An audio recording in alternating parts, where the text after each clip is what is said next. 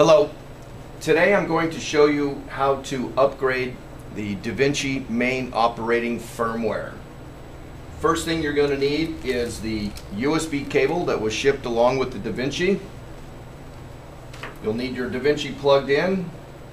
You'll need a Windows-based operating system computer with internet access. This uh, upgrade process will not work on a Macintosh or an Apple product. It needs to be a Windows-based uh, computer. The first thing you're going to do is you will click on enter the Enhanced Vision web page. You'll click on the support link. On the support link, you'll find the link titled Software. Under this uh, page, you'll find the firmware update for DaVinci. You'll click on that. On this page, you'll find that it's a link to the written instructions on how to upgrade the DaVinci, along with a link that is titled Update EV Device.exe. You will click on that, minimize Internet Explorer, and click Save. Save the file as named to your desktop. While this is saving, you need to make uh, put the DaVinci into a system update uh, configuration. In order to do so, you hold the power to power the DaVinci completely off.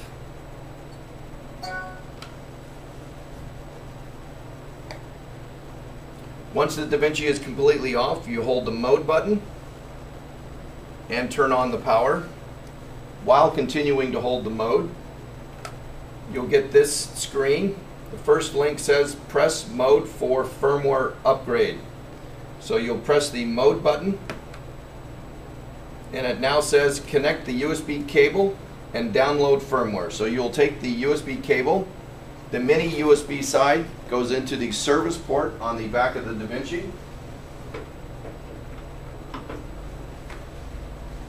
And the other side will plug into any available USB port on your computer or laptop. The file is completely download, so you'll click close. You will now see a new icon on your desktop titled EV Update EV Device.exe with the EV logo. You will double click on that and you will click Run. And then you'll click Yes when prompt.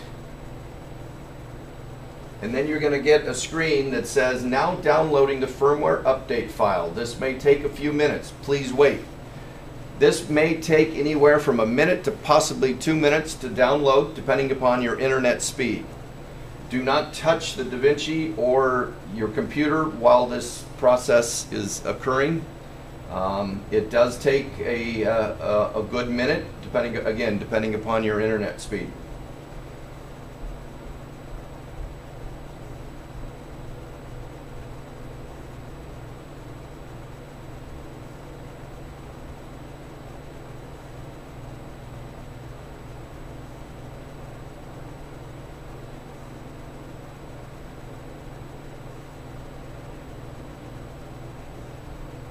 It's a very large file. Now you see it's actually finished its download. It's going through a macro.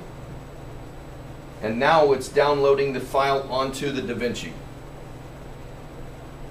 Again, you don't touch anything. You just let it finish uh, the download process.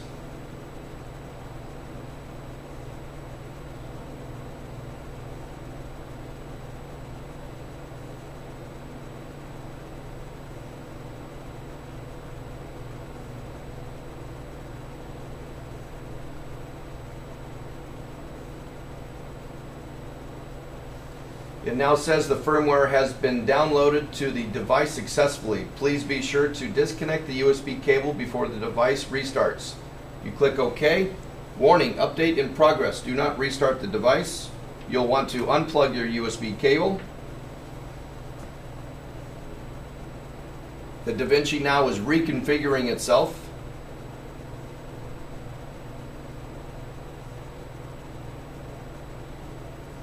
Firmware update success. The system reboots.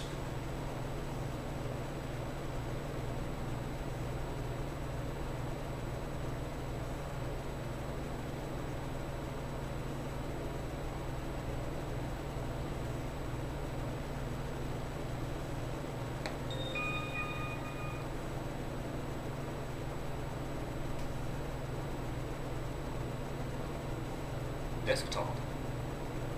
And now the DaVinci is, is completed its system update.